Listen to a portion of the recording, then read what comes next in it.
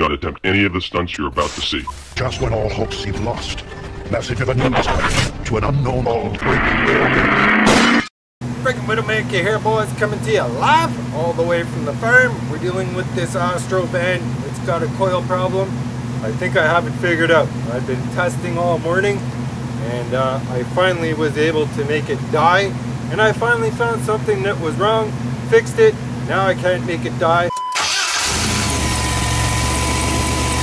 Alright, so here we are, and I put this old coil on this morning. You could tell it's an old one because there's rivets holding it on to the bracket, which means it's original, never been replaced. And the van ran for about an hour and a half. I couldn't make it die. Everything else so far today has checked out the way it should. And then I started moving these wires right here around. And I noticed, well, it wasn't that hard to notice, the engine died. And then it would not refire.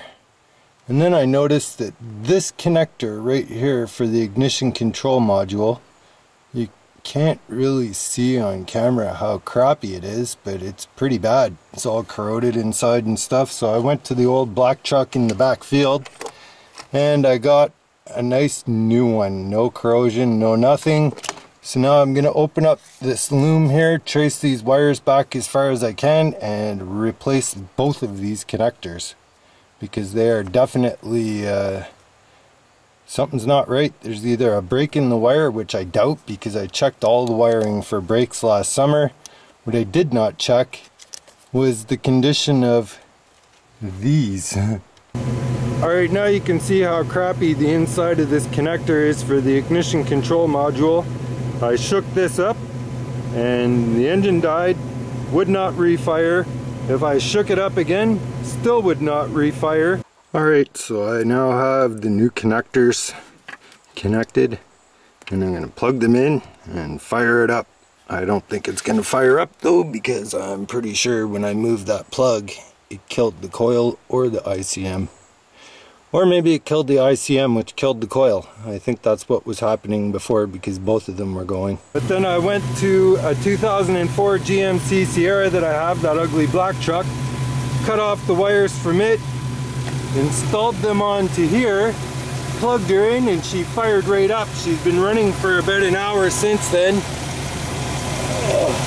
And the coil is not super hot, but it's definitely running temperature. It would get hotter if I had the doghouse on, but that didn't matter yesterday because when it broke down yesterday, I was driving at 100 kilometers an hour with the doghouse off. The wind was coming right through here, so the coil was just as hot then as it is now. Anyhow, if I shake up these wires now, nothing dies. I can shake up the whole thing. The last time I shook them up, the engine died. So I'm pretty sure I have it fixed now. I got out the multimeter this morning and tested the resistance of things and all that and everything checked out just fine. So I let it sit here running for an hour and a half. It wouldn't die. That's why I shook up the wires to see if I could make it die and that's exactly what happened. So I'm really, really hoping that this is the answer to my problem. Alright guys, so this thing's been sitting here running for three hours, so it's definitely not the coil getting hot. Uh, I got 13 and a half volts still. Unfortunately, I cannot find out what this wire is supposed to have. It's the pink wire coming out of the coil plug-in right there in the center of the screen. If one of you has an Astrovan and it's handy and running good, I would be really interested in knowing what your uh, wire is reading for voltage there because I don't know 13 and a half seems high and I made a video the other day and it was only 4.2 I watched the video again last night and I noticed when I shut the engine off that pink wire jumped up to 9 volts. I'll show you that clip again right now. Oh well I got 4.2 volts right now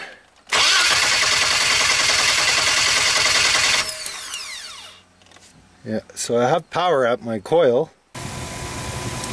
And uh, yeah, now that you've seen what was going on there, I'm not sure what the hell is going on. Is it supposed to be 4.2, 9, or 13.5? I have been Googling for hours and I cannot get the right measurement. Anyhow, I'm gonna have to assume it's fixed because I can't make it die. I'm gonna take it and do some laps around the field with you right now.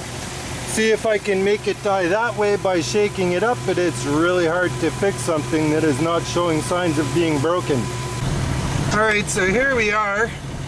We're up in the top field, the go-kart racetrack, and I'm doing some circles around the track to try and get the coil a little bit more hot and to possibly shake up anything that will be causing it to lose connection.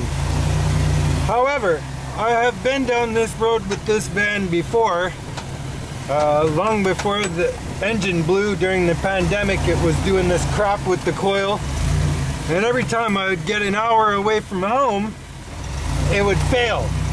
I would drive circles like this at home it would not fail. And finally I got so sick and tired of being towed home that I did 620 laps like this around the big track down in the lower field before I finally got the coil to intermittently die. And then after that happened, I put in a new coil and rebuilt the engine. And that coil lasted about 10,000 kilometers. And here I am back to having coil issues again. So I'm a little bit nervous to go out on the road because uh, yeah, I've been down this road before and I'm pretty sick and tired of having the bright green van towed home with everybody recognizing it. It's a little bit embarrassing. Anyhow, my back is killing me today. So I am certainly not going to do 620 laps. Not today anyway, maybe tomorrow. Anyhow, I guess I'm gonna go park it and call it fixed. I came out last night in the dark with a spray bottle and I misted water on that engine to see if it was arcing anywhere and it was not. I came out this morning and I had the multimeter to check the ohms and resistance and all that stuff. Could find absolutely nothing wrong. The cap was clean inside everything, absolutely everything just looked the way it should be, except for that coil is now getting 13 and a half volts and I don't know if that's right or not. And that connector was a problem. So anyhow, I guess uh, I'm really in no mood to be diagnosing things today, guys. My back's killing me. That's why these videos are not like the usual videos I make. I'm stressed out and in pain. So I'm gonna post this and let you guys do some thinking for me, which you did yesterday with the other video, and I really appreciate it. Anyhow, these aren't my favorite type of videos to make. Uh, I don't like making videos where I have forced content, and that's what I'm dealing with right now. Uh, so thank you for bearing with me. I really appreciate all the suggestions you guys put in the comment section of the last video. I did use them. I went through the van today, checked spark plugs and all that. Nothing was wrong, so there's nothing to show you really, but I will show you what I did find wrong. Anyhow, uh, I guess I'm gonna leave these videos up and hopefully I don't have to come back and make a part three if it happens again, because I only got one coil left. And I'm hoping that I can use that coil to get somewhere to buy more coils, just in case. Anyhow, that's another day, that's another video, so comment, rate, subscribe, share the damn video, don't do anything we wouldn't do, and stay tuned for the next one.